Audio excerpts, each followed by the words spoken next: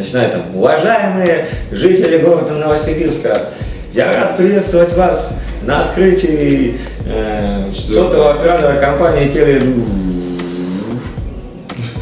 И знаешь, такой, э, ну, как выключающийся пылесос. Вся сцена такая, ну, в сложном моменте. Начинаешь, что вы сейчас с этим генератором? Я уже стал думать, так, кому я пойду дворником? Значит, э, там Теле2 директор, и, может, ну, в лучшем случае я буду в Швеции два вместе, понимаешь? Ну, стандартная история это тендеры, там всякие госзакупки и прочая история. Э, Потом, ну, как выставки конференции, личные знакомства, там, контакты. Ну и как вариант, вот есть cold call, это старый добрый cold call, всегда работает. Вот у вас в Москве... Другой рынок. Вообще рынок другой, люди другие совершенно, они эти стихи не понимают, короче. Ну, то есть, ну, понимаешь, насколько вот разная картина мира реально у всех. И вот, ну, Че, всем привет. Э, Сегодня у нас в студии Александр Воробьев. Здорово, Саша. привет. Э, С Александром мы недавно ходили в Сандуны. Я думаю, большую часть истории ты сейчас повторишь. Ну, какие-то детали все-таки мы оставим. Да. Почему, почему мы пригласили Александра? С одной стороны, что мы соседи по бизнес-центру, а с другой, более главной стороны, то, что Александр тоже из разряда твердых людей. Вот, я думаю, сейчас Саша расскажет, э, какие у тебя есть результаты в бизнесе, вот, желательно с оборотами. И мы все сделаем выводы и поймем, что ну, есть чему у человека поучиться. А, Есть компания BTL агентство, занимаемся организацией промо-акций мероприятий, называется агентство ProLight, в городе Новосибирске находится. Ну, обороты там плавающие, но за прошлый год ну, стоил 100-110 миллионов. А сколько лет всего? Компания 7 лет уже. Вот. А, нет, 8 лет, вот исполнилось неделю назад, кстати, говоря, да. Что там, к миллиарду не подбирается? выставка? пока не подбирается, пока мы как-то вот... У нас раньше был очень активный рост, а потом ну, бизнес вырос, и он стал такой очень спокойный, где-то 20% прирастаем. Хотя прирастали там и по 100, и по 150. Ты говоришь, что на Новосибирск и Красноярск, да? Да, это Новосибирск и Красноярск. Э, Вот, потом есть э, здесь в Москве э, IT-компания, занимаемся оптимизацией и автоматизацией маркетинга. Это филиал э, немецкой программ, ну, софтверной компании. Мы здесь запартнерились, в общем, представляем их интересы, ну и бы Brandmaker? развиваем бизнес, да. Называется brandmaker.com. А, Вот, есть здесь у нас э, небольшое тоже ивент-агентство, называется NR Marketing. И новый супер крутой и интересный проект, который, над которым я сейчас особенно работаю. И во многом благодаря твоим подсказкам, Руслан, тоже все получается хорошо у нас сейчас. Называется Мати Пати, это корпоратив в коробке. Так вот при этом, при всем, э, Александр, я не побоюсь этого слова, от Бога талант у тебя не то, что ты даже музыкант, так певцы и музыканты, это же разные, да? Нет, это одно и то же. А, одно и то же. Ну вот э, офигенное исполнение, и вот э, какой ты, сейчас совмещаешь, ты уходил в сторону музыки или возвратился, то есть какой путь ты выбрал и как тебе кажется правильно? Я человек фанатичный очень, да. Э, Было как. Э, Я закончил... Тебя же альбом какой-то есть? Да, да, есть альбом. э, э, Группа называется Сантил. Можно ВКонтакте набрать. У нас есть там несколько роликов, у нас есть песен довольно много. Э, Было как, значит, в 19 лет я закончил университет Новосибирский государственный э, по специальности нефтяник. Э, И, в общем, поработал на буровой, Ну да, естественно, что музыку. это же сама судьба в музыку и в рекламу уходить после нефтяной специальности, да. А, Вот, ну, я рано закончил вуз, в общем, поработал, посмотрел, но все это представилось мне не таким, как вот было в моих мечтах и иллюзиях. Э, Вот, вернулся в Новосиб и упал, а, познакомился с партнером. И, кстати, ну, это одно из главных событий вообще в моей жизни. Ну, про партнеров можно вообще про партнерство Да. поговорить отдельно. А, Познакомился с партнером, он меня пригласил сначала как менеджера в его собственный бизнес. И все, и упал я, короче, в этот менеджмент и в рекламное агентство. То есть мы были маленькое такое подвальное агентство, начинали втроем в подвальчике. Ну, классика, в общем, наверное, многие через это проходили. А, Быстрый рост, э, хаос, там, весело, душевно там, и так далее.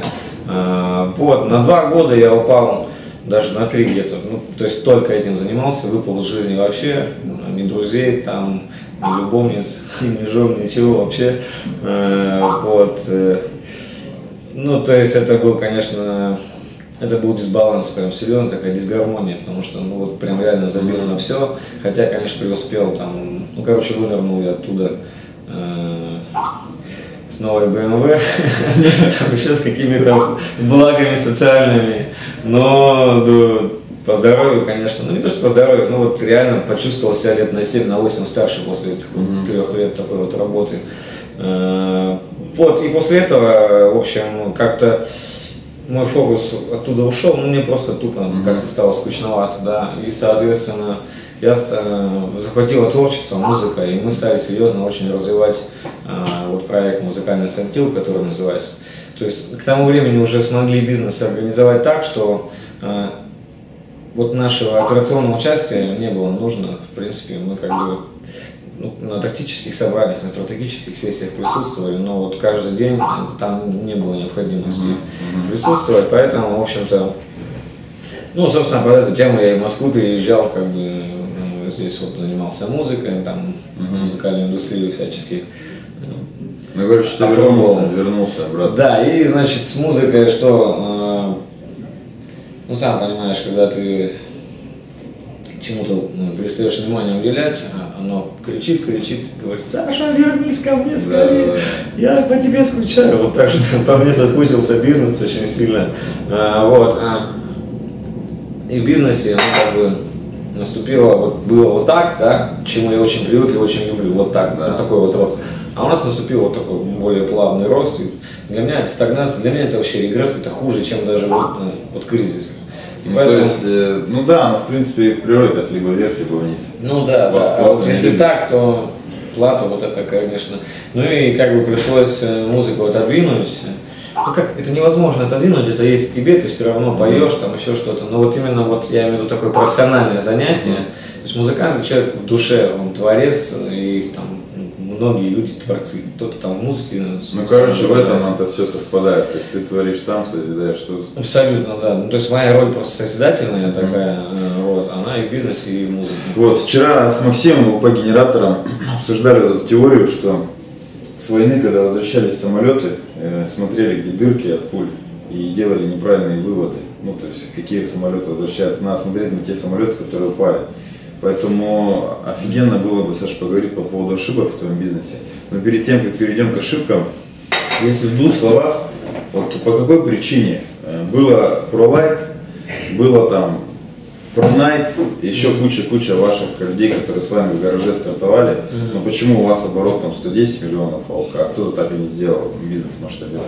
Ну, Я думаю, что, э, ну, во-первых, мы как-то сразу, знаешь, над нами даже как-то посмеивались, то есть вот спустя два года уже бизнеса, ну вот представь, мне 21 год, и мы организуем первую стратегическую сессию, где я говорю, что через три года мы должны стать стратегической компанией. Как Сидит, Алибаба этот, этот, э, стоял, ты не видел ролик? Э, нет. Он говорит, Алибаба это станет номер один наш А, да. американцы там вообще. Ну, у нас в меньшем масштабе, ну, примерно так. Я говорю, вот мы должны стать через три года, наше стратегическое видение, долгосрочное планирование, ну, начитались там Том Питерсов, там, не знаю, куча Да. всего всяких, Томас Гэддер, Стивенов Кови, э, вот, и... Коллинз там Да, построил да, да, вечер. да, вся, вот эта вся братья, это тоже такой пройденный этап чтения этих книг захлеб просто было очень много.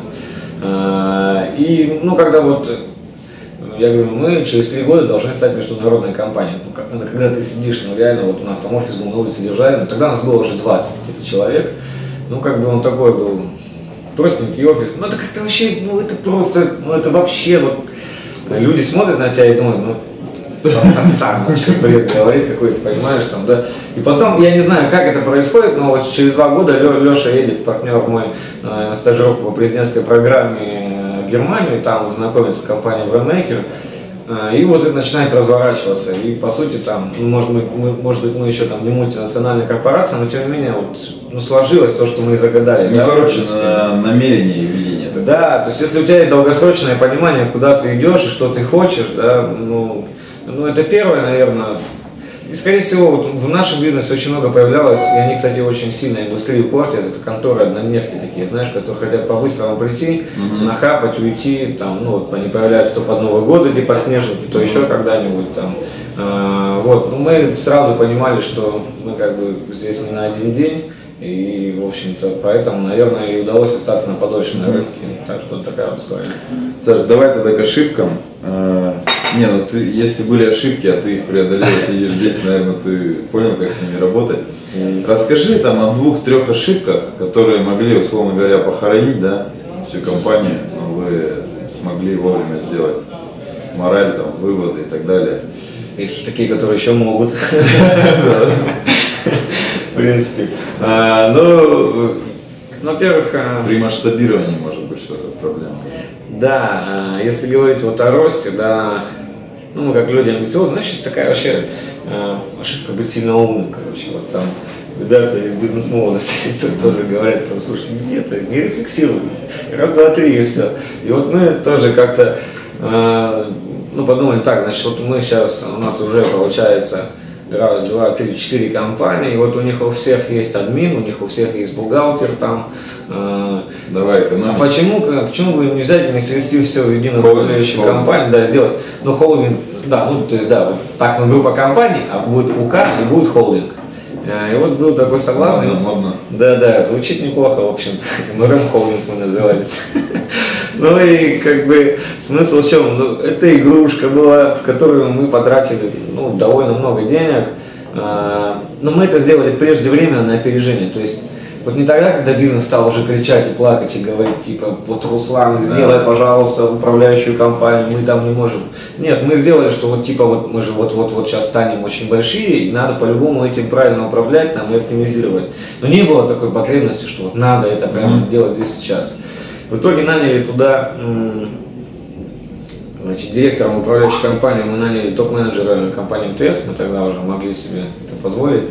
Э, и он пришел прям рубить с плеча, знаешь, директивными методами, ну вот как вот в крупных госкорпорациях все устроено, ну вот они вот любят, чтобы друг по другам там все ходили, да, ну типа того, да, да, вот да, да, то есть там напиши мне записку там, напиши мне там, ну вот документ оборот стал наруливать там и всякие, короче, ну сразу пришел мотивацию поменял там и так далее, а, и, в общем начал внедрять очень много реформ, и вот эти изменения, они реально очень сильно стали портить компанию, там, ну и повлекли за собой такие серьезные процессы, о которых там, ну, как Это прям революция, да? Ну да, да, и, ну, сам понимаешь, если быстро происходят какие-то серьезные, быстрые изменения, ты должен быть готов э, к тому, что ну, что-то может посыпаться. Да. Поэтому ну, вот сейчас как бы стараемся придерживаться больше формулы 80 на 20, там, вот из Паретта, не знаю, Тарасов так тоже говорит, что 20% нового, 80% старого. То есть тогда система стабильно остается, и как бы вот резко э, стараемся не, не реформировать ничего. Меня тут Андрей познакомил с э, с людьми из экспедиции. Экспедиция мне подарила книгу. Вот я вчера перед этим интервью как раз э, думал, что тебе позадавать. Читал книгу, и там был такой момент, когда экспедиция начала расти, там холдинг Руян был. Mm. И он говорит, и мы тоже начали делать, значит, там управляющие компании. И вот это было очень похоже, что есть как бы э, бизнесы разные, и мы над этим бизнесом пытались понтоны объединить э, отдельной, короче, горой, mm. вот, и все это нахер валилось, и в итоге он понял, что пусть каждый бизнес будет это свой спецназ, да, который вот так вот быстро разруливает, решает да, ситуации, да, да, и нет вот этой громоздкой медленной, да, то есть неповоротливой. Где эти знания были раньше, понимаешь? То есть реально вот кажется, вот, вот, вот Новосибирск, Красноярск, там похожие бизнес-процессы, все одно и то же, там, или там у нас есть еще одна компания в Новосибирске, она вот очень похожая, но, блин, реально, вот они настолько разные и настолько вот я даже не знаю, как это ну, объяснить. Вот, по сути своей все стандартизировано, все одинаково. Mm-hmm. Но в компаниях все равно есть какой-то дух, э, и вот какая-то душа, и которая все равно как-то направляет по-разному, и все, и все процессы реализовываются mm-hmm. совершенно по-другому.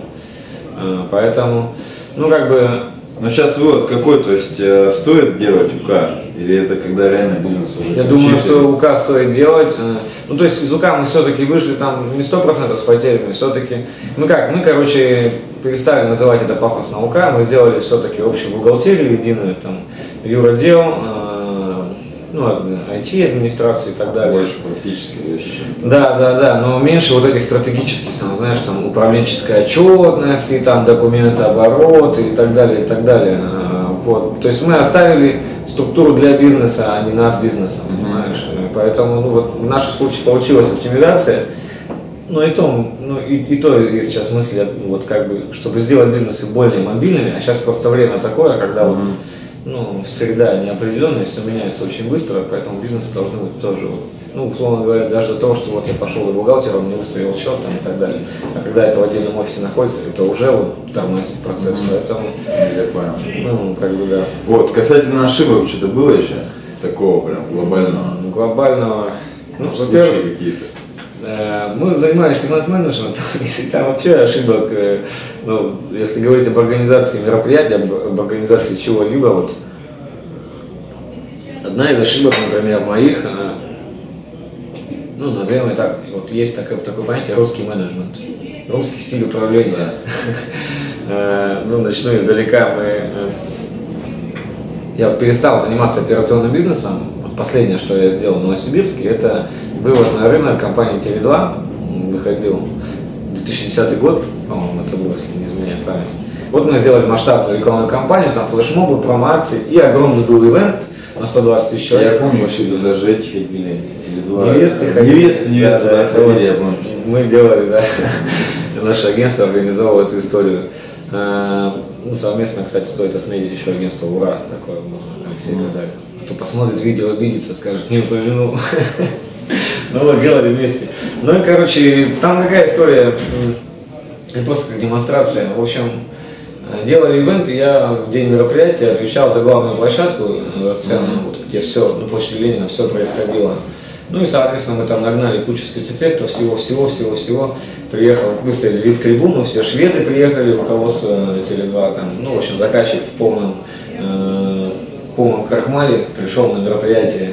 Ну и выходит 12 часов старт мероприятия, он выходит торжественно, начинает там, уважаемые жители города Новосибирска, я рад приветствовать вас на открытии э, сотового оператора компании Теле...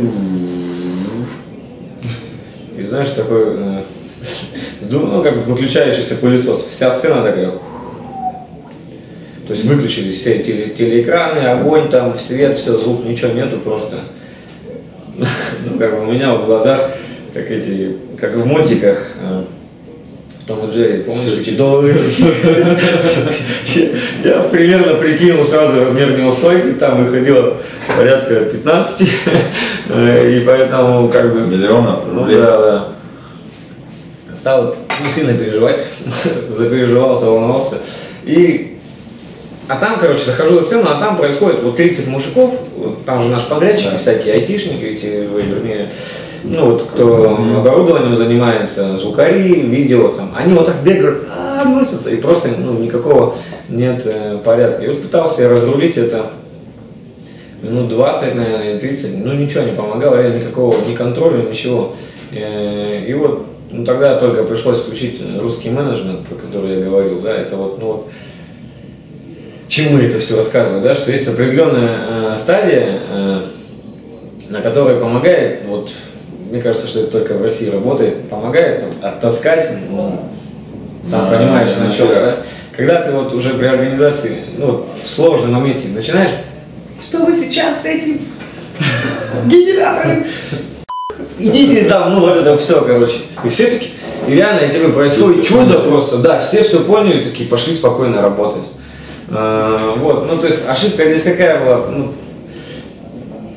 иногда пытаться вот э, тяжелые моменты, все, вот быть мягким, оставаться, понимаешь? Если есть какой-то тяжелый момент, ну тебе придется быть жестким, да, там это может быть кому-то не нравится, кто-то тебя не полюбит, там это непопулярные методы. Но вот этот популизм и попытка быть мягким, и вот, ну, она нас, вот как раз, я привел пример, да, в бизнесе, ну, вот там, где надо было принимать жесткие решения, где ну, тоже УК, например, ну, вот надо ее было закрывать, ну, еще года полтора назад, понимаешь, там, ну, нет же там э, дружеские отношения с директором, там как бы, ну, вот все выглядит очень так, знаешь, красиво.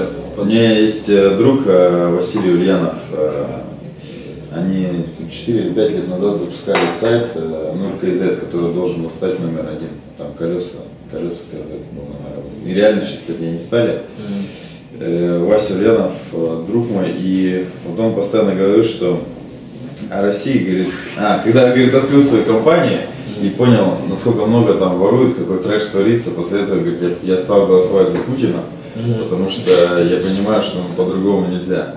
И этот, кстати, вот книга Ицхака Адидиса я тоже начал читать э, про управление изменениями. Mm-hmm. И он говорит о том, что большинство типа руководителей принимают решения как диктаторы, а, ну, тоталитарно, а реализуют его как а, демократия, ну, довольно мягко. Mm-hmm. А тут важно и, и, и принять решение, реализовать еще эффективно. И он говорит, что в идеале, говорит, демократичное решение, то есть все приняли с сотрудниками, да, то есть это их идеи были на самом деле, просто он как бы как будто снял как сливки, да, но потом реализация довольно жесткая, тоталитарная, то есть четко разделяет момент принятия решения, да, и его там реализация. Ну, вообще, э, вот на эту тему, как бы, есть очень классная книга Тарасова. Я как сначала недооценила, потом поехал на тренинг. Искусство вот это да, да, искусство управленческой борьбы в кармане, по-моему, да. называется. Там вот про э, китайские стратегемы. Да, читал. Э, ну, это древнее китайское искусство управления, да, искусство императоров. Ну, к слову, это про Путина, как бы он там, я так читаю, смотрю, он очень многим пользуется, да, и как бы я тоже начинаю понимать некоторые его решения. А относительно вот руководства, ну, я полностью согласен. Э, это, конечно, звучит красиво, не всегда это получается ну, да. хорошо делать. То есть, конечно, было бы круто повесить вот всем вот таких правил там, и, и неукоснительно следовать.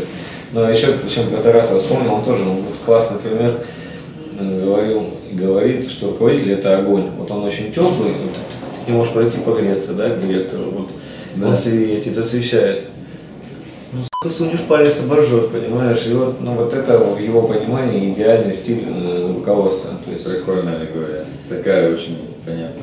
Mm-hmm. И что, чем кончилась история-то? А, да.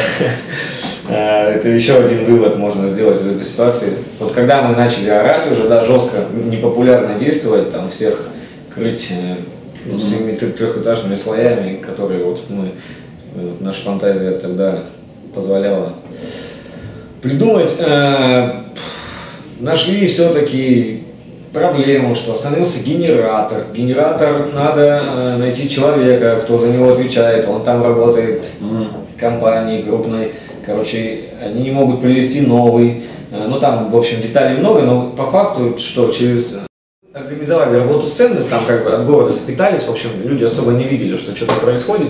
У нас было три часа на решение проблемы. Вот первые полчаса мы э, потеряли... С 12 до, до 3, да, да, до 3 да, запуск. Да, да, в 3 у нас там вот надо перезапуститься. Ну, а их, их с утра не так много собираются, то есть там как происходит мероприятие, где-то тысяча да, человек на начальном этапе, и потом и вечер хедлайнер, там фейерверки, там вот все 120 собираются. А, ну, в общем, потеряли время на непопулярные, ой, на популярные методы, потом стали непопулярно решать. Ну и приходит, в общем, где-то в два часа такой, знаешь, технарь где-то где нарыл его, такой вот, ну как реально в американских боевиках где-то только вот разбудили, он пил 16, 16 лет пил до этого, впадло. Приходит реально к этому дизельному генератору, подходит с сигаретой, говорят, так, ну что, ну какая проблема? И реально, знаешь, там берет какой-то вот отверткой, там, ну тут что-то там, ну, тут что-то, короче, подкручивает, там, ну буквально две минуты дела, да, вот, и все, и он заводится, он говорит, ну все, нормально. И тут были 30 человек, которые носили технари, они прям, ну видно, что со всех э, вот эти 20 долларов обратно закрутились на глаза. И, в общем, все, мы переключились там, ну там технические моменты были, но в итоге все, э, все прошло нормально, да, но смысл-то какой? Э, в том, что вот она проблема, она тебе кажется, ну все, то есть mm-hmm. я тогда похоронил как бы и бизнес, думаю, я уже стал думать, так, кому я пойду дворником, значит, э, там, Теле2 директор, может, ну, думаю, ну, в лучшем случае я буду в Швеции дворы вести, понимаешь? Но оказалось, реально, ты смотришь на глобальная проблема, оказывается, если ты как бы, ну вот, кем-то другим там, да, или ты вот выныриваешь из этой своей внутренней каши, да, Кто-то может прийти просто отверткой, вот так чуть-чуть подкрутить, и вся система, она вот обратно, все пойдет. Так что, ну, если есть какие-то большие проблемы, нужно вот находить этого человека с отверткой, который знает, где там Мгм. покрутить. Ну да, вот граница, говорит, между успехом и неуспехом очень тонкая. Да, в том-то и дело, понимаешь? И вот это интересная реальная история, Прикольно. как это получается. Слушай, давай поговорим про... Ну, я так понимаю, у вас прям B2B сегмент Да. называется. Вот вообще только B2B, и мы в этом э, и находимся. Хотя сейчас пытаемся вот... м, Ну, давай смотри, про, про, про B2B. Я вообще считаю, что мне когда говорят, что там, ну, вот B2C, а вот B2B это другой рынок, я вообще считаю, что B2B нет, э, потому что в любом случае есть э, человек принимает решение, или перед которым ты контактируешь, и он как бы физик, он такой, как ты, я там, то есть он один. Так, что ты думаешь по этому поводу и на моей ли ты стороне? Я Нальем на тебе еще воды. Спасибо за чай, кстати. говоря.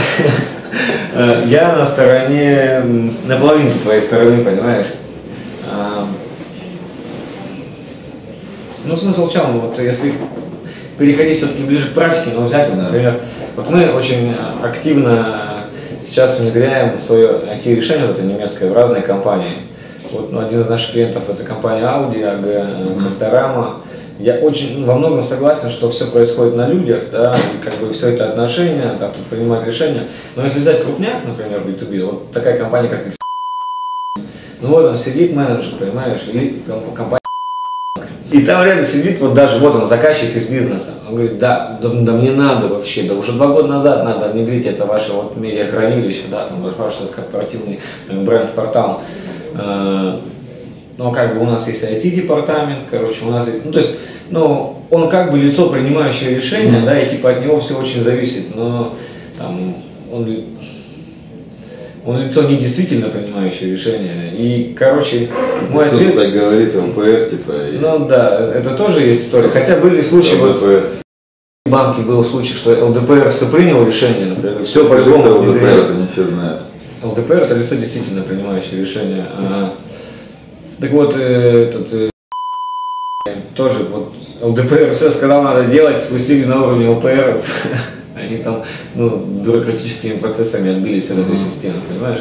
Поэтому я отвечу статусом ВКонтакте, все сложно, понимаешь? А, Прикольно. Согласен, что все решается и по сей день э, в бане, там, на личностях, да, важен твой там личный, твой publicity, кто ты вообще, там, ну, с тобой просто так не будут работать. Но э, в том числе есть в крупных компаниях вот эти бюрократические проволочки, через которые, как бы, ну, зачастую даже самый там президент компании не может пролезть. Поэтому звучит красиво, да, что все на людях, но не всегда, если практика. Я понял. Слушай, скажи вот, э, Если говорить о крупном чеке. да, то, то, что касается B2B. Вот есть у тебя какие-то фишки в B2B, которые, скажем, ну реально это личные твои открытия, и то, что тебе там, скажем, помогает пробиться, я не знаю, к ЛПР, к ЛДПР, то есть э, примеры.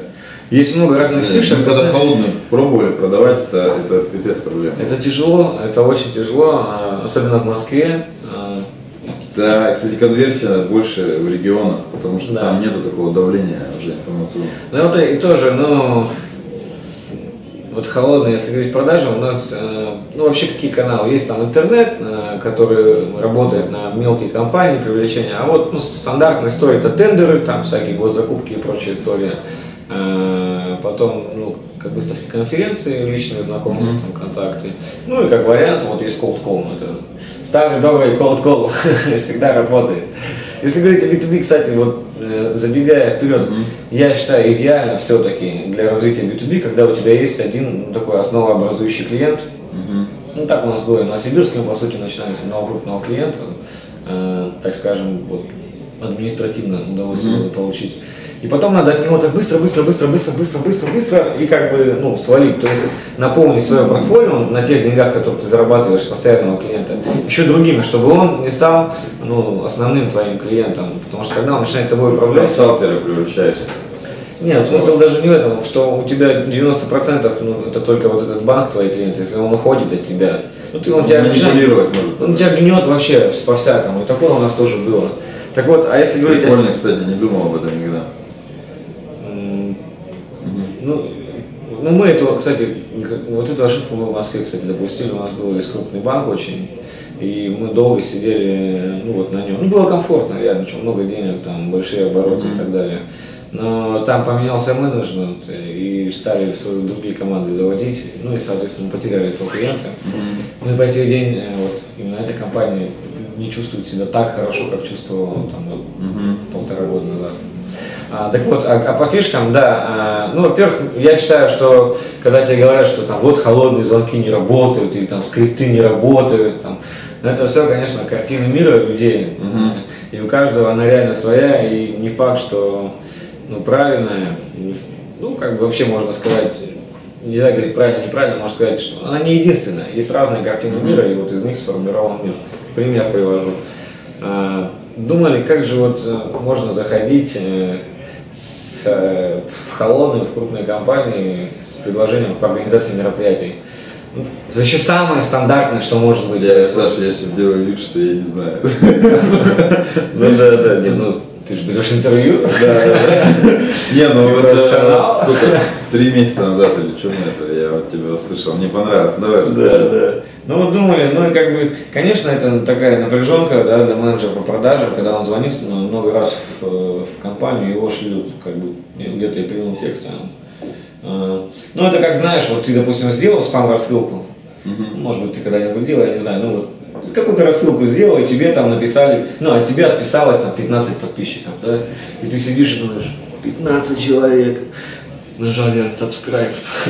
То есть, прикинь, вот по, по поводу каждого человека, который отписался от твоей рассылки, например, да, ты будешь горевать. Вот так же, как и холодные продажники. У них это ближе, да, но все равно я считаю это глупо горевать по поводу того, что тебе сказали нет. Но тем не менее, это как-то все равно выжигает человека.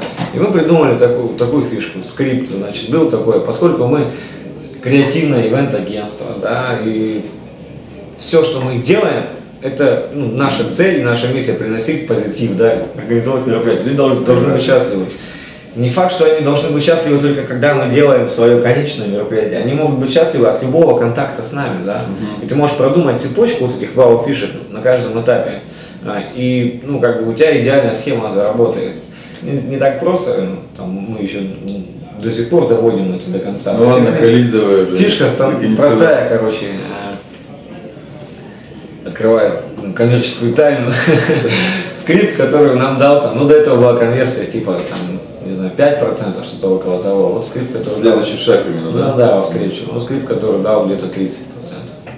Э, Звучал он таким образом. Ну, то есть он- скрипт для пробивания холодника называется. Звонит девочка на, на телефон, там, вы звоните, ну, надо сначала выйти на лицо, с которым встречу, там, это обойти секретаря, короче, об этом не будем. В итоге, вот когда у тебя есть телефон конкретного человека, она звонит, вы там, здрасте, э, меня зовут там Татьяна, э, Значит, звоню по двум поводам. Э, Первый повод, э, чтобы вы улыбнулись, там, все-таки весна за окном. Да, да, да. А второй повод, э, хочу назначить встречу, чтобы рассказать, как безупречен, отличный сервис нашего агентства. Вот. И никогда не будет бедствовать тот, кто с нами работает. Надеюсь, у вас настроение гуд, не часто же люди стихах продают. На том конце, ну там, э, слышно, как люди стекают под стол просто, понимаешь? Ну, то есть я реально вот на тебя вылью ушат креатива просто. И понятно, что там реакция была всякая разная. День- Деньги не взяли еще. да? Что? А, да, еще и деньги не взяли, да, да. И реакция была такая, что кто-то морозился, ну, были, ну, ну, процент был небольшой, что кто-то говорил, то, типа, а... в основном было так, типа, да, прикольно, креативно, а что вы там делаете? Люди сами спрашивают, давайте, расскажите мне, что вы делаете, чем вы занимаетесь, вот классно, да, вы говорите, пришлите мне, пожалуйста, там презентацию, уже сами начинают просить, сами спрашивают, ну и как бы встречи назначаются гораздо проще в связи с этим. Дальше там этап отправки презентации, он тоже может быть нестандартный, понимаешь, она тоже может быть презентация какая-то интересная, тут надо как бы всю вот эту цепочку, следующий этап, ну, можно продумывать. Касание, А, да, такие? Ну вот этот скрипт, короче, ну он, а, людям доставлял какое-то счастье там, вот, как, ну, ну, тем людям, вот, понимаешь, они, они нам близки, и мы должны работать с теми людьми, которые близки нам. Нашими клиентами должны быть наши единомышленники. Да.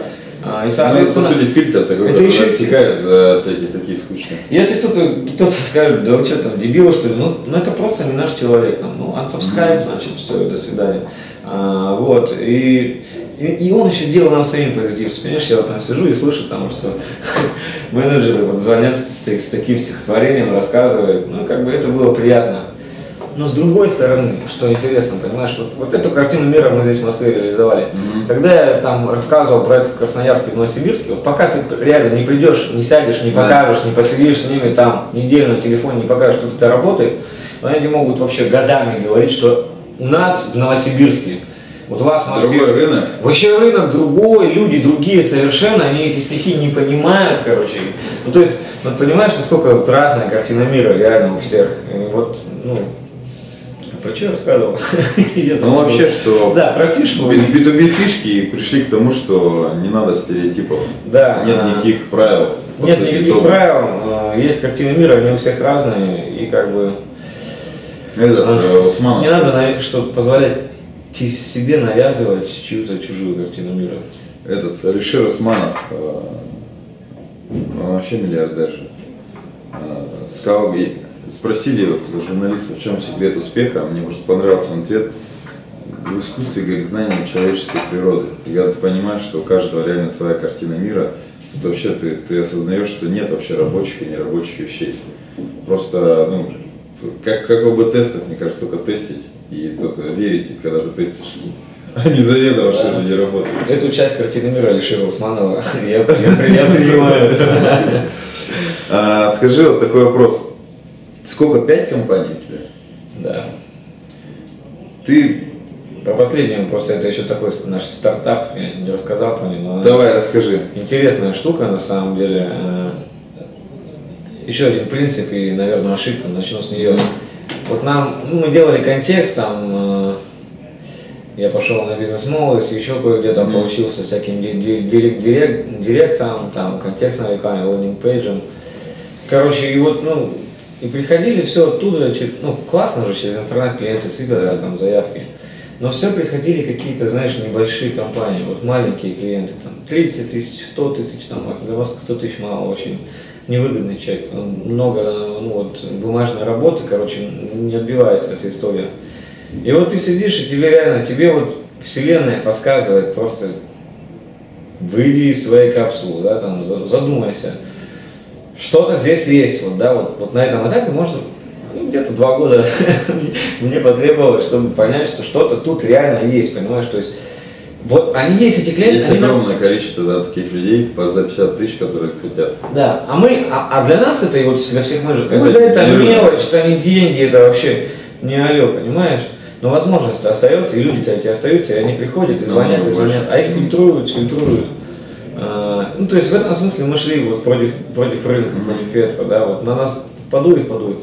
Такие, не-не-не, не туда, как бы ломимся в свою сторону. Вот сейчас мы переосознали это немножечко и решили попробовать э, запуститься по ветру. То есть, э, ну вот мы очень много лет занимались организацией мероприятий, были и корпоративы, ну, большая часть, доля, это была организация праздников корпоративных. Ну, мы решили упаковать э, корпоратив в коробку. То есть есть э, уже решение такие... Маленькая, большая, я видел такая. Такая вот, да, там лежит, ты видел в офисе, коробочка. Э, есть, есть они в розничном сегменте, да, но вот у нас именно корпоративный сегмент, mm-hmm. именно большая коробка, где находится, ну реально вот перед Новым годом у людей проблема, особенно у небольших компаний, вот тебе надо там организовать да. Новый год, в основном это все делают либо своими силами, либо ведущего привлекают, там, либо сидят в офисе, либо в ресторане. А программы нет, ничего нет. Плюс есть какой-то HR-менеджер там, или директор, который в последний момент носится в пробках, стоит, там, покупает какие-то оформления, елки, какие-то кон... какой-то хи... короче, занимается, или богу, стоит в пробках и очень сильно напрягается на эту тему. Вот чтобы этим всем не заниматься, можно купить коробку, получится, э, и там полный комплект. Там есть оформление, сценарий, там всякие видеоконкурсы, э, костюм Деда Мороза э, и много-много всего. Вот сразу открыл вот, и собрал себе праздник. Причем креативный праздник, не какой-нибудь там там 11, а именно интересный такой ну, мини-блокбастер. Ну, твой, короче, путь от сторону масштабируемого, да? Да, и вот здесь мы как раз, вот это, называется это все smartyparty.ru. Ну, ссылку разместим. Да, это вот наш путь в то, как уйти в более розничную историю из, из э, крупного B2B в мелкий сегмент. Мы вообще сидели, короче, там история такая, что мы вообще сидели в одном офисе. А с Сашей были соседями здесь на минус первом.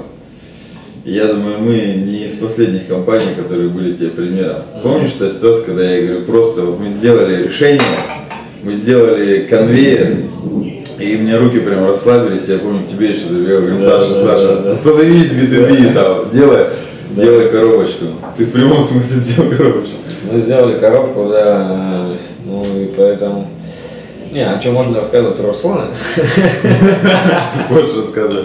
Э, Тут тоже же много очень, ну вот под боком буквально компания э, выросла в прекрасный такой бизнес. Э, Мне очень нравится, что у вас происходит.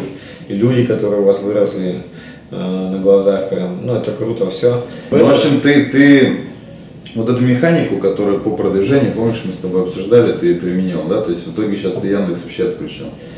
Э, Если говорить, да, контекст у нас вот в, э, в праздниках вообще вот, вот эти слова ключевые, там, новогодний корпоратив, тысячу рублей стоит клик сейчас, Да. это Яндекс.Директ, там, ну, что-то около того, вот э, собирали ядро семантическое, смотрели директологи вчера как раз. Ну, дико дорого, вообще неэффективно, и вот эта схема твоя через ну, социальные медиа, да, гораздо... Не SMM, а конкретная, конкретная механика, как Да, да. просто. Ну, вот, короче, вот это твоя история, мы, можно сказать, ну, просто адаптировали под свой бизнес, да, и сделали у себя, реализовали. И пока грех жаловаться, мне нравится, как это все работает. Ну и самое главное, видишь, там масштабируемый канал. Про, про что? Просто вот в Яндексе там тупо горячие клиенты, но с ними работать довольно просто, ну, относительно сделку, если вас устраивает чек там 50 тысяч на ивент. Но проблема в чем, что большая конкуренция. У нас э, на Фейсбуке очень низкая конкуренция, особенно в ленте э, сообщений. Вообще никому не говорите об этом. Да. У ленты реклама не, не справа на Фейсбуке, а в ленте сообщения очень высокий CTR, особенно размещаете нормальные, нормальные фотографии, и дальше, так понимаю, ты их проваливаешь не на какой-то там лендинг, там, простыню, да? Да, да. А где ты вообще не оставляешь вариантов и говоришь просто... как- Вообще, вот не надо быть умным. Ну, я ссылки размещу, прям залейте, расскажи. Ну, ну, реально, вот ну, простейший лендинг, мы собираем e-mail, там два шага, да, на первом мы собираем e-mail, и на втором шаге мы говорим, «А хотите вам еще Дед Мороз или Снегурочка Вот, но на позвонит?» первом ты не просто собираешь, ты уже что-то даешь. Э, Да, мы присылаем презентацию про проекта и рассказываем, ну, то есть у нас есть презентация, мы могли бы просто ее... Раньше она у тебя просто Да, стояла. да, да, и вот, ну, после твоего совета мы поставили, что дай e-mail, получишь презентацию. Скажи, что по цифрам примерно у тебя сейчас получается. Ну, по цифрам примерно сейчас получается, пока просто мы не так много трафика льем, поэтому я думаю, что они будут меняться, но пока конверсия 9% у этого сайта. 9 и с учетом клика, уж сколько тебе регистрация обходится? Э, Короче, получилось так, что мы потратили ну, около 3000 рублей там, на продвижение этой публикации. Получилось 30 э, регистраций. То есть это что получается? 100, 100, э, Наверное. 100 рублей за регистрацию, да, 100 рублей за регистрацию, там клик 1000 рублей, условно. Да. Яндексе, да. Да, да, то есть И ты- самое главное, что мне нравится, что когда ты сейчас до конца воронку еще, работаешь, еще да, 4 ну, было тех, которые Телефоны? да, да, оставили телефоны, и там ну, такие живые, короче, и уже одна даже там заявка упала. Ну, то есть, как бы, потихоньку этот механизм мы налаживаем. Я думаю, что цифры будут меняться. Я надеюсь, я уверен, что они будут выше на самом деле, потому что ну, там все пока что вот так м, отстройка идет, происходит. Но самое главное, что вот я вижу вообще свет в этом тоннеле, что ты не на каких-то форумах, ты не на каком-то Яндексе супер дорогущем, это реальный канал, где ты один раз делаешь, и потом ты просто умножаешь бюджет на это все, увеличиваешь гео. И по сути ты можешь там масштабироваться по всему миру с этой коробкой. Ну да, э, с ней, конечно, проще масштабироваться, чем там э, с каким-то решением для, не знаю, ну с услугой, да, вот тяжело. масштаби- ну, то есть мы всегда, у нас была такая, такая пропаганда, что мы для каждого клиента уникальны, да, это наш один из принципов. И мы делаем всегда реально креатив уникальный. И это за, за что нас реально любят, ну, почему мы там одно из крупнейших агентств Сибири, э, клиенты но для масштабирования это тяжелая стратегия. Реально тяжело масштабироваться, когда ты каждый раз под каждого клиента все придумаешь с нуля. Мне лучше ли придумать все один раз для себя Да, да, масштабировать. Давай краткий вопрос Саш, про фокусировку, когда там сейчас аккумулятор сядет уже. А, У тебя пять бизнесов, вот сейчас ты про пятый рассказал, как раз начали вопрос. Считаешь ли ты, что это нормально или это ненормально? Что лучше фокусироваться или, скажем, как диверсифицироваться? Вот какую данную, в данную секунду картину у тебя? Ну, я считаю, что это нормально, конечно. Я же как-то в этом живу. Для определенного типа людей это нормально. А, Но, конечно, как бы, ну вот, я люблю футбол, футбол люблю играть. Э, Приведу пример, вот, э, ну, тут недавно играли в ЛФЛ, любительская лига Москвы. Ну и там, как бы, я очень сильно захотел помочь команде, очень сильно, реально. Вообще я защитник, э, играю в защите. И стал бегать и в нападение. Э, Ну, то есть мы там как бы проигрывали сильно. И вот мне прям так захотелось. Вот прям. Стартап открыть. Да, да, да. Продвинуть бизнес на поле, короче, захотелось так, что прям, и понимаешь, ну вот, что получилось в итоге, короче, ну мы там еще 5, 5 голов пропустили, потому что я ну, просто не успевал возвращаться назад, да.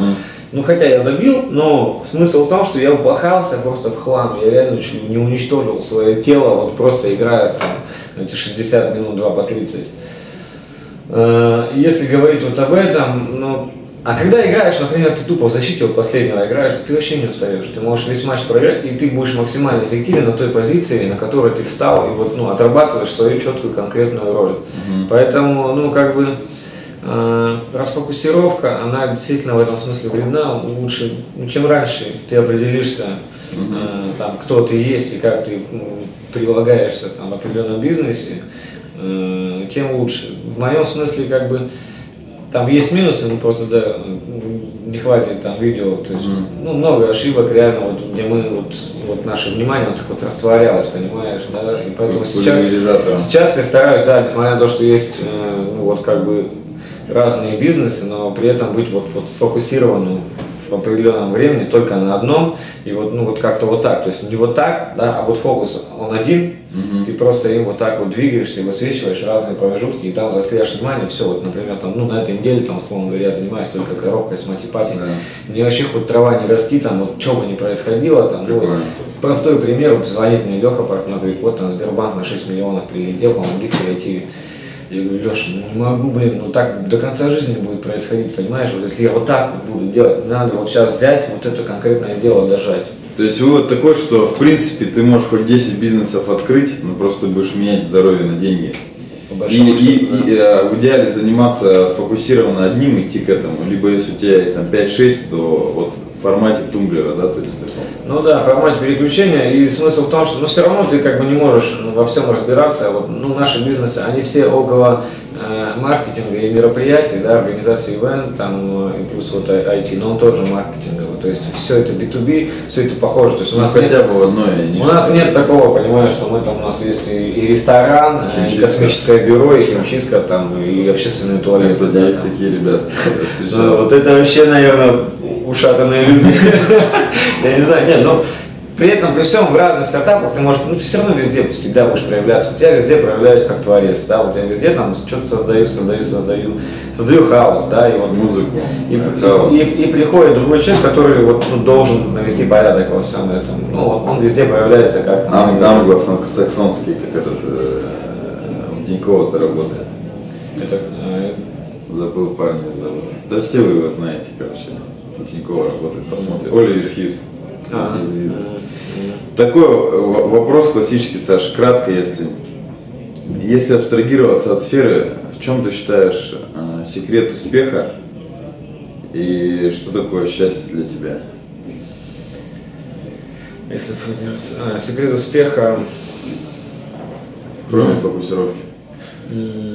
мне кажется, ну не знаю, я сейчас, может, сол- Да, солнышко вышло, да, река за окном, мне как-то нахлынуло какое-то нежное чувство к своему партнеру. Вот я, наверное, ну есть, можно о разном говорить, да, но я хотел бы отметить, ну вот у нас, ну, я считаю, что мне очень сильно повезло, э, и секрет успеха, кстати, во многом в везении заключается, но я не об этом. Э, У меня есть партнер Алексей, вот с которым мы уже, получается, ну, вот 8 лет, да, строим компании, и было всякое разное, э, ну, то есть, там и критические периоды, там, ну, Ну и сейчас вообще в мире кризис там тоже не так просто, там где-то приходится... Ну да, люди обычно не в штопоре познают это. Да, и вот понимаешь, ну вот что бы ни происходило в этом мире, у меня есть одна незыблемая вера в своего партнера, что он меня не предаст, что он меня не бросит, и я сам никогда в жизни вот него, ну, соответственно, не предам, ничего такого плохого не сделаю ему, и вот, ну, как бы,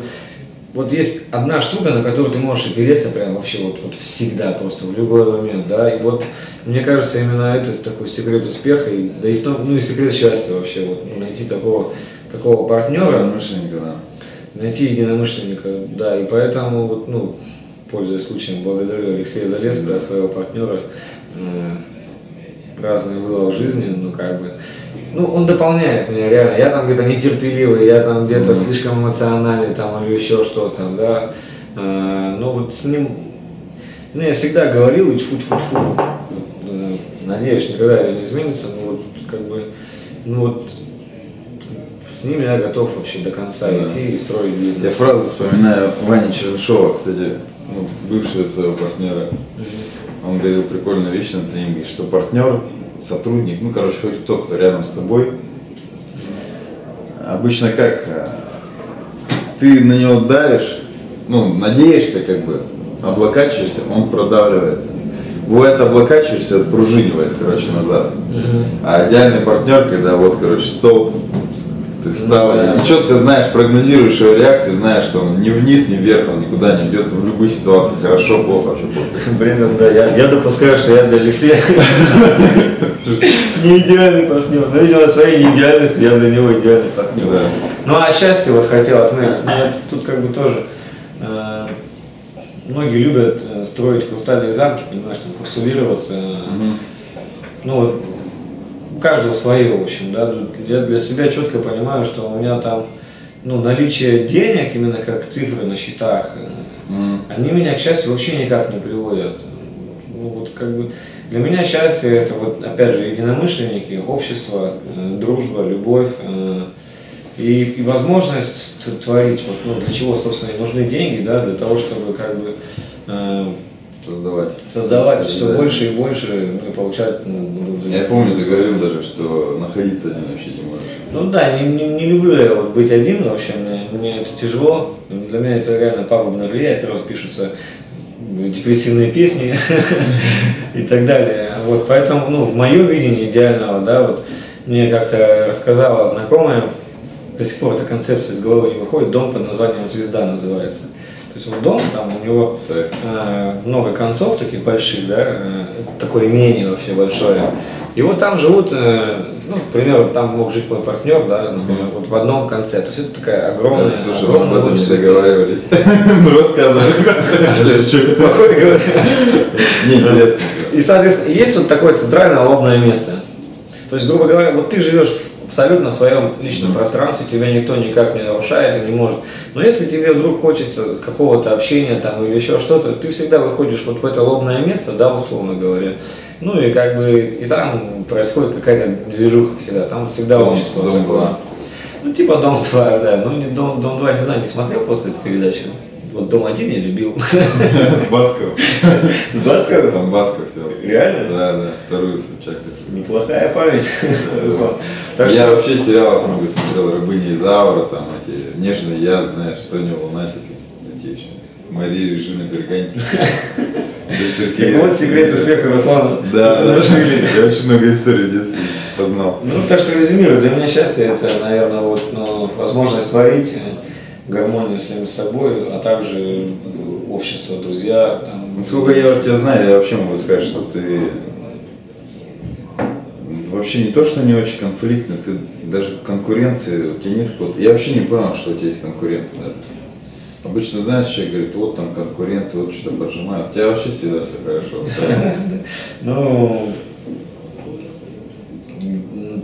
насчет конфликтности не знаю, иногда я могу все-таки русский метод управления включить.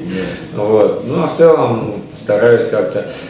Такое еще вот, э, как бы, в принципе, есть у меня управляю настроением, э, а не настроением мною. Mm-hmm. У меня даже такая песня там, так и не записал еще ее. Но смысл в том, что, понимаешь, как бы мы всегда можем реагировать так, как мы этого хотим, на все происходящее во внешней среде.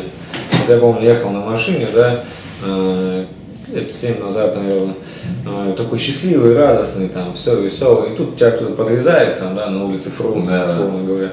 Есть. И ты, ах ты скотина, я, тебя сейчас даю». Ну вот это все, из тебя льется, вот это все.